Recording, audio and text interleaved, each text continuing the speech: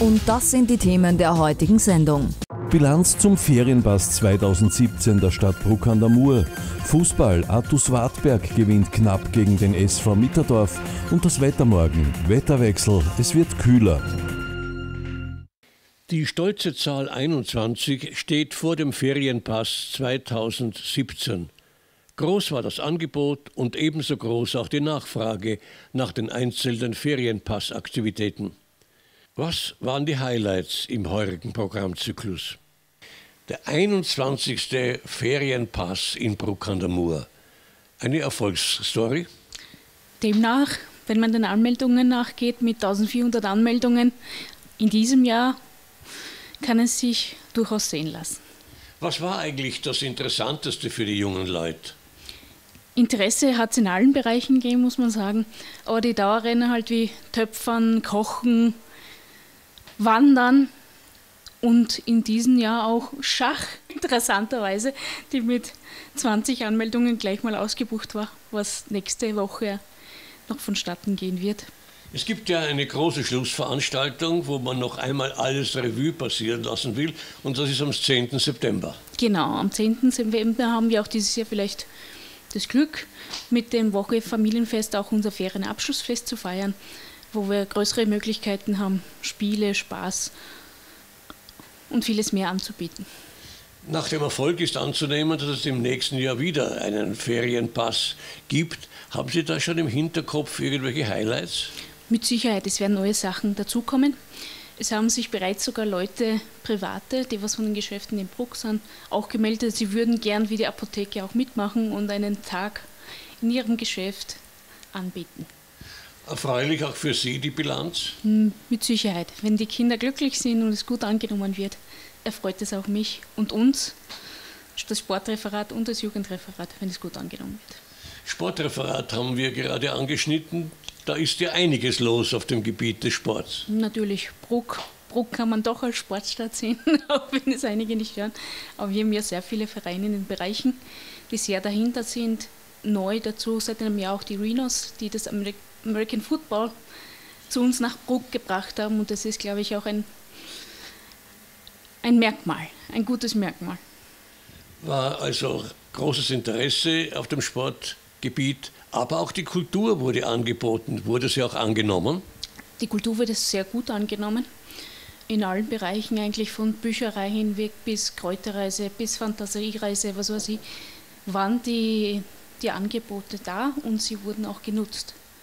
Dann kann man sagen, hoffentlich nützen die Leute auch den 21. Ferienpass, denn dieser steht ja wohl zweifellos fest. Natürlich. Und wer das Engagement des Teams kennt, weiß auch schon einiges, was es bei der 22. Auflage Interessantes geben wird. Ja, auch der Bürgermeister ist von allem angetan und meint, anderen Freude machen heißt auch sich selbst belohnen.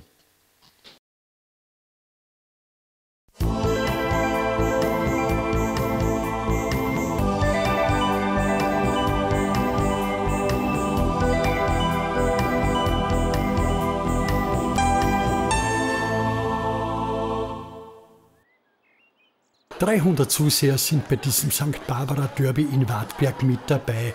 Das ist eine erstmalige Ausführung in der Unterliga nur da. Der Aufstieg vom Mitterdorf hat das Ganze möglich gemacht. Freude gibt's für Wartberg schon vor dem Spiel. Vom Lackiercenter Fuchsbicher Kapfenberg gibt's eine neue Dress und den Matchball obendrauf. Walter Fuchsbichler macht den Ehrenanstoß. Schade, bei diesem Spiel gibt's für Schiri Alfred Amtmann keine Linienrichterhilfe und das bei einem Sonntagsspiel, wo sonntags ganz wenig gespielt wird. Da geben wir die gelbe Karte an Schiri Besetzungsreferat. Wartberg in Weiß-Rot versucht's mit aufgespieltem Freistoßball. Ausbeute gibt's noch keine, da wäre schon mehr drinnen gewesen. Wir blenden in Minute 10, da gibt es einen Hochkaräter für die Badertruppe Wartberg. Mitterdorf hat da Glück. Auch Mitterdorf mit dem ersten Lebenszeichen nach vorsichtigem Beginn. Wartberg nun in der Vorwärtsbewegung, kommt er über die Außenseite. Reingabe von Robosch aufs lange Fünfereck und da ist Reisenecker und drückt 1 und 1 zu 0 für Wartberg. Die Freude riesengroß durch den Führungstreffer in Minute 21. Und die Antwort der Leskov-Segmanen schaut so aus. Nach Wartberg Ballverlust setzt Hölbling zum Sturmlauf an, vergibt da diese Ausgleichschance. Aber darauf folgend dürfen die Gäste jubeln. Wartbergs Abwehr wird zerpflückt, Stefan Deck trifft zum 1 zu 1. Alles wieder offen im Spiel.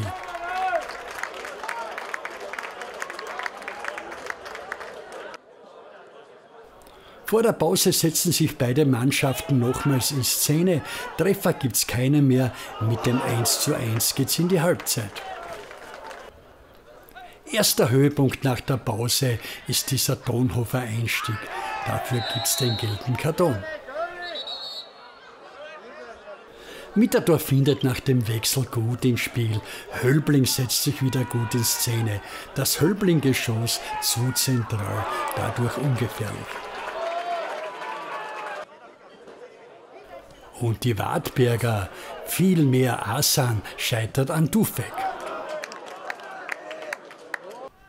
Dann wieder Gästeangriff aus Abseitsposition. Höbling nimmt das Geschenk nicht an. Es bleibt vorerst beim 1 zu 1. Aber dann gibt's was für die Wartberg-Fans. Nach dummen Ballverlust der Mitterdörfler gibt's das 2 zu 1 für Wartberg. Hassan hat ideal auf kurz aufgespielt. Der sagt Danke, macht das 2 zu 1 für Wartberg.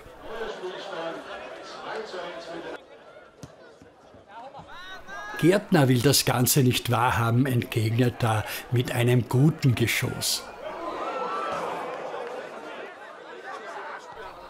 Da müssen die Wartberger nochmal zittern. Mitterdorf hat da die Wartberger so richtig durchgebeutelt. Wartberg begnügt sich mit dem 2 zu 1, bringt das auch über die Runden. Wartberg hat mit dem Tabellenführer SV Mürz Zuschlag punktemäßig gleichgezogen, hält bei sechs Punkten. Wartberg nun auf Platz 6 und die ersten sechs der Tabelle, die haben alle sechs Punkte. Die Feitscher hätten mit Sieg gegen Admont die Tabellenführung übernommen aber geworden ist seine 1 zu 3 Niederlage. Ja, es ist ein zehnter Sieg geworden. Wir haben sehr viele Chancen vorgefunden, haben sie heute nicht genützt und somit war es ein schwieriges Spiel. Derby ist sowieso ein eigenes Spiel, eigene Gesetze und auch Mitterdorf hat gut Fußball gespielt, hat, volle, hat gute Kicker drinnen und darum war es schwer bis zum Schluss. Natürlich, wie du sagst, hätte man mehr Tore machen können, hat man nicht gemacht. Und so war natürlich die Chance für, für Mitterdorf immer da, dass noch ein Tor machen. Und dann hat man sich ein bisschen zurückfallen lassen und das wäre fast für den Gegner XL drin gewesen. Ja, muss man wirklich sagen, sie haben dann auch Chancen vorgefunden, wo sie einen Ausgleich wieder machen hätten können. Aber ich sage trotzdem, wir haben einfach mehr Chancen gehabt und du musst einfach vorher den Sack zumachen. Und darum ist der CTC geworden. Wir freuen uns aber trotzdem. Erste Derby nach vier Jahren wieder. Und damit können wir gut leben. Sechs Punkte aus zwei Spielen, sind wir sehr zufrieden.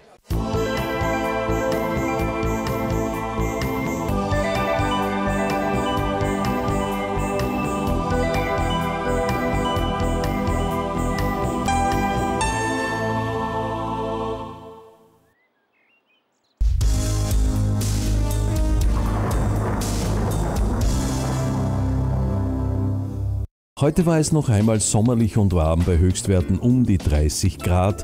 Morgen wechselt das Wetter auf unbeständig und kühl und die Werte erreichen gerade einmal 22 Grad.